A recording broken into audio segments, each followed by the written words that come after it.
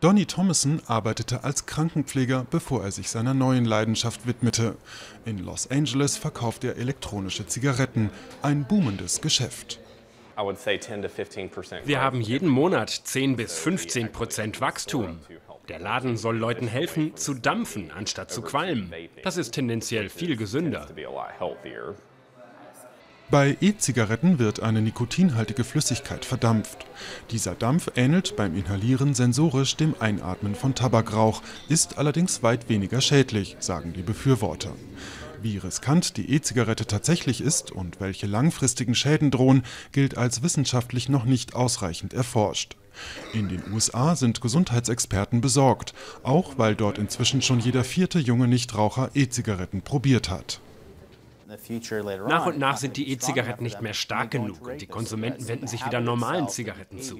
Die Angewohnheit des Rauchens wird bestärkt.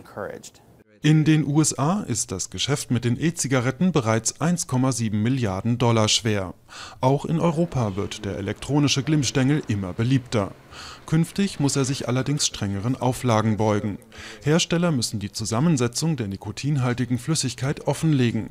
Außerdem soll Werbung für E-Zigaretten und ihr Verkauf an Minderjährige verboten werden, wie auch für herkömmliche Tabakprodukte